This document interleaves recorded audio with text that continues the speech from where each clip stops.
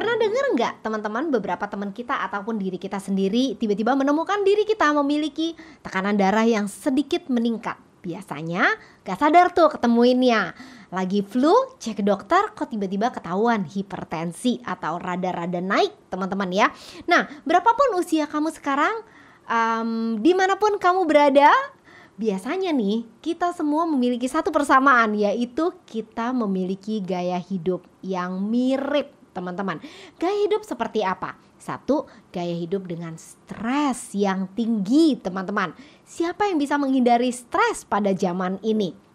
Yang kedua, gaya hidup yang super super sibuk. Rasanya 24 jam dalam satu hari nggak pernah cukup untuk menyelesaikan semua pekerjaan pekerjaan kita.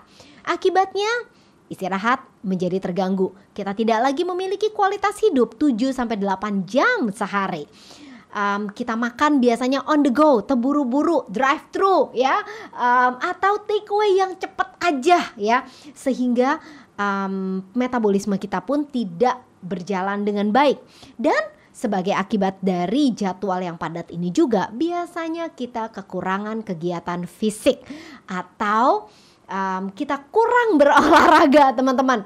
Naik turun mobil dari lobby ke lobby teman-teman. Meeting berjam-jam. Seperti saya juga kerja di depan di depan komputer berjam-jam teman-teman. Dan ini semua jujur tidak baik efeknya buat tubuh kita. Karena Tuhan tidak pernah merancangkan tubuh kita untuk bekerja optimal di uh, di cara hidup seperti itu. Nah, nggak heran teman-teman, begitu banyak dari kita setelah usia biasanya sekitar 40 teman-teman Ada yang lebih pa lebih pagi bahkan saya dulu memiliki teman yang dari usia 25an udah mengalami hal ini teman-teman um, Kita mengalami satu sindrom yang bernama sindrom metabolik apa itu ya teman-teman? Ternyata teman-teman sindrom metabolik ini dialami oleh 80% orang dewasa. Luar biasa ya teman-teman ya. Itu banyak sekali. Nah, saya mengutip apa arti dari pengertian dari sindrom metabolik ini dari uh, site ya Halodoc ya. Oke, sindrom metabolik ini adalah sekumpulan gejala penyakit yang menyerang seseorang. Kondisi ini meliputi hipertensi, kadar gula yang lebih tinggi, dislipidemia atau ketidakseimbangan uh, profil lemak, teman-teman, obesitas dan lingkar pinggang yang membesar. Kondisi ini cukup berbahaya teman-teman karena ini adalah penyebab dari penyakit jantung, stroke, dan diabetes. Selain daripada satu aja tandanya yaitu lingkar pinggang yang melebar, selain daripada itu semuanya nggak ada simptom atau nggak ada gejala sehingga hampir dipastikan orang-orang gak sadar pada waktu mereka memiliki sindrom metabolik ini. Yuk teman-teman, saya mau mengajak kamu pertama-tama untuk sementara kamu menonton video saya, ambil meteran yang seperti ini, ambil meteran dan ukur lingkar pinggang kamu. Lingkar pinggang kamu baiknya diukur itu di mana di pusar kita berada lingkar pinggang kita nggak boleh melebihi setengah dari tinggi badan.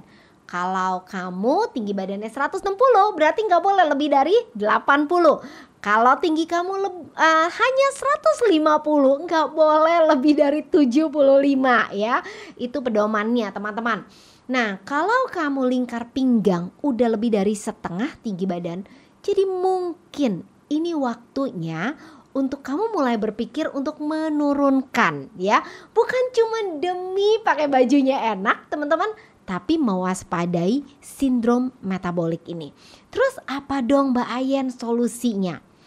Um, kita punya solusi yang sangat-sangat luar biasa teman-teman tentu saja dari perubahan pola hidup dan juga suplementasi saya nggak akan bahas di video ini secara detail stay tune teman-teman dengan channel saya Ayan Buntoro karena saya akan membahas solusinya lebih lanjut. Tapi saya juga open chat di mana kamu bisa uh, klik link di bawah ini untuk kita untuk kamu berkonsultasi dan kita uh, berbincang-bincang mengenai solusi kesehatan buat kamu teman-teman ya um, nantikan video-video berikutnya mengenai H-Lock Meta. Ini uh, begitu exciting teman-teman ya. H-Lock Meta di channel saya.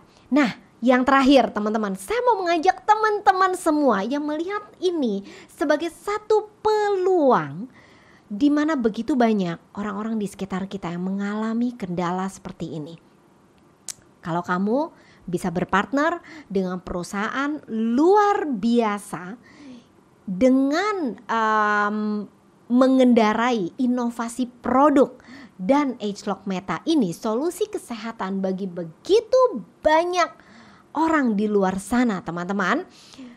Kamu bisa juga klik link di bawah ini dan saya bisa uh, siapa tahu kita bisa kerjasama dan menjadi bisnis partner. Oke, okay? so stay tune teman-teman. Sampai jumpa di chat. Bye.